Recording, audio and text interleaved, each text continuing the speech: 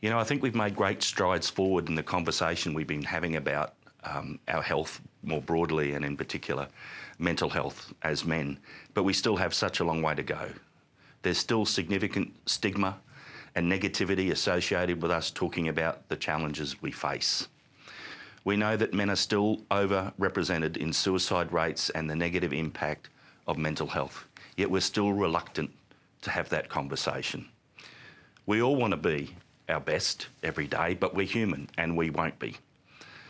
Often we're reluctant to even recognise the indicators in our behaviour and how we're feeling about the impacts on our mental health. But as brothers, as colleagues, as friends, we can surely see it in others. I appeal to all men to recognise that we have a role to support each other through the impacts on our mental health.